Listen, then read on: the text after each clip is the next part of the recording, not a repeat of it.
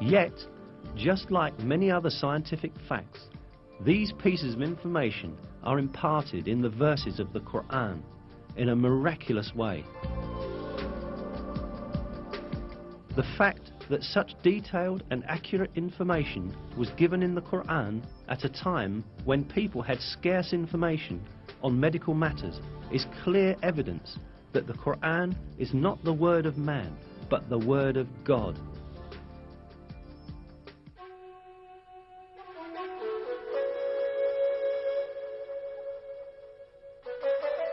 Another miraculous aspect of the Quran is that it revealed beforehand a number of important events that would occur in the future. The 27th verse of Surat Al-Fath, for example, gave the believers glad tidings that they would conquer Mecca, which was then under the occupation of pagans.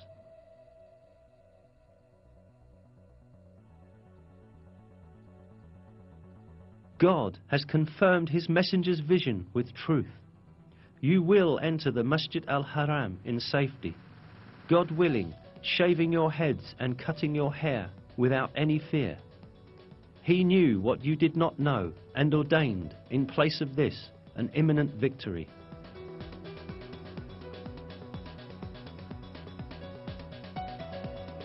In close consideration, the verses seem to announce yet another victory that will take place before the victory of Mecca. Indeed, as stated in the verse, the believers first conquered the Khyber fortress, which was under the control of the Jews, and then entered Mecca.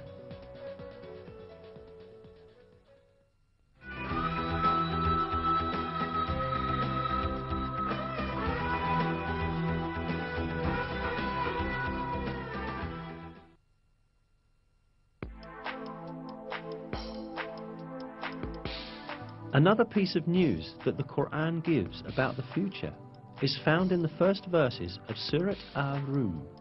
In these verses, it is stated that the Byzantine Empire had met with a great defeat, but that it would soon gain victory.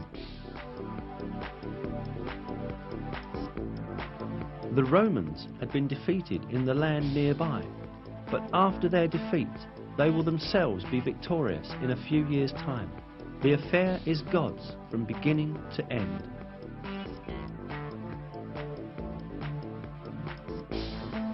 These verses were revealed around 620 CE, almost seven years after the severe defeat of Christian Byzantium at the hands of the Persians, when the Byzantines lost Jerusalem. Yet it was related in the verses that Byzantium would shortly be victorious. In fact, Byzantium had then suffered such heavy losses that it seemed impossible for it even to maintain its existence, let alone be victorious again. Not only the Persians, but also Avars, Slavs and Lombards posed serious threats to the Byzantine Empire. The Avars had come as far as the walls of Constantinople. The Byzantine Emperor Heraclius had ordered the gold and silver in churches to be melted and turned into money in order to meet the expenses of the army.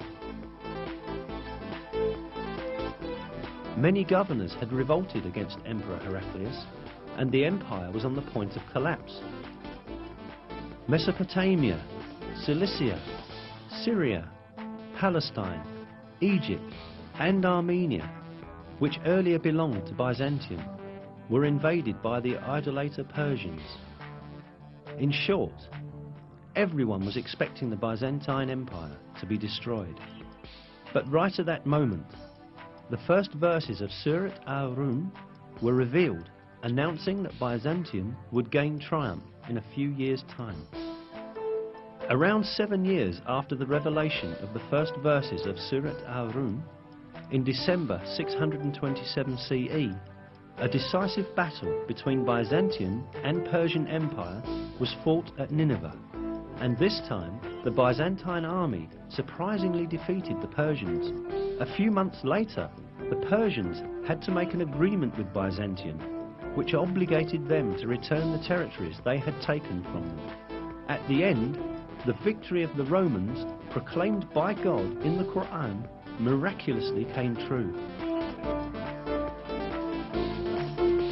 Another miracle revealed in these verses is the announcement of a geographical fact that could not be discovered by anyone in that period. In the third verse of Surat al-Rum, we are informed that the Romans had been defeated in the lowest region of the earth. This expression, Edna el-Ard in Arabic, is interpreted as a nearby place in many translations. Yet, this is not the literal meaning of the original statement, but rather a figurative interpretation of it. The word Edna in Arabic is derived from the word Deni, which means low, and Ard, which means world. Therefore, the expression Edna el Ard means the lowest place on the earth. Most interestingly, crucial stages of the war fought between the Byzantine Empire and the Persians when the Byzantines were defeated and lost Jerusalem had really taken place at the lowest point on earth. This specified region is the basin of the Dead Sea, which is situated at the intersection point of the lands belonging to Syria, Palestine and Jordan. The Dead Sea, lying at 395 metres below sea level, is the lowest region of the earth. This means that the Byzantines were defeated at the lowest part of the world, just as is stated in the verse. The most interesting point lies in the fact that the altitude of the Dead Sea could only be measured with modern measurement techniques. Before that, it was impossible for anyone to know that it was the lowest region on the surface of the earth. Yet, this region was stated to be the lowest point on the earth in the Quran. Hence, this provides another evidence that the Quran is divine revelation.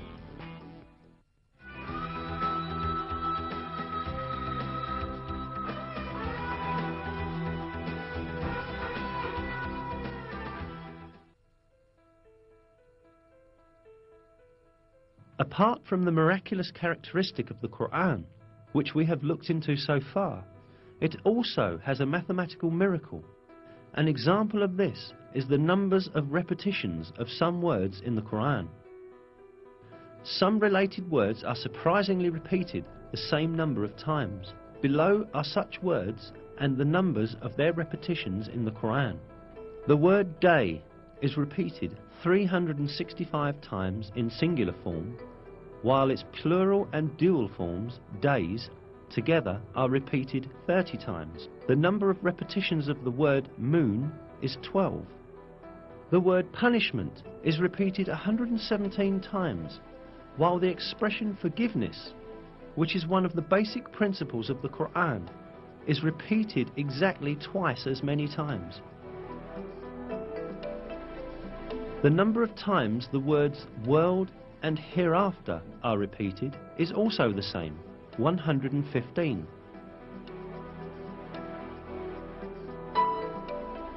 The statement of seven heavens is repeated seven times. The creation of the heavens is also repeated seven times.